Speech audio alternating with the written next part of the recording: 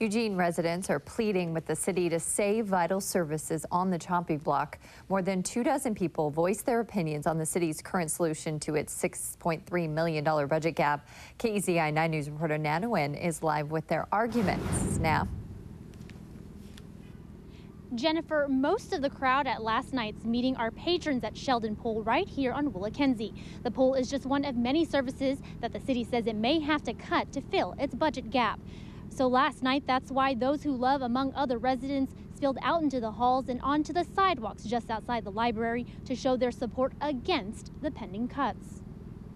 That uh, the city is at a point, and you are at a point, where you really need to be very careful because I believe there's a high level of dissatisfaction in the community, and that dissatisfaction is is focused on the handling and the use of reserve funds. That point was made clear, if not just by the sheer numbers who turned out to speak at the city's budget committee meeting, then definitely through their comments. Yeah, with all due respect to city staff, I think we have a manufactured crisis here. That the mindset behind these cuts is short sighted.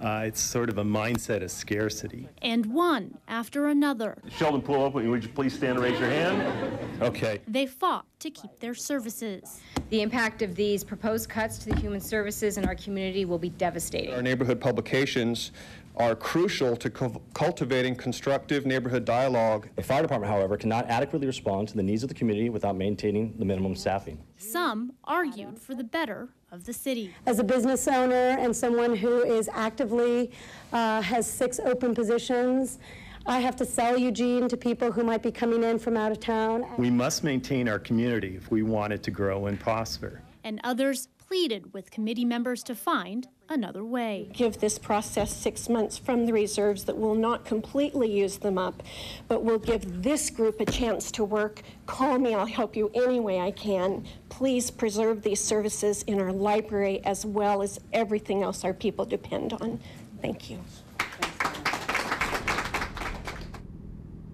Yesterday was just the beginning. The committee will hold its second meeting tomorrow and has already added another session to their calendar for Monday.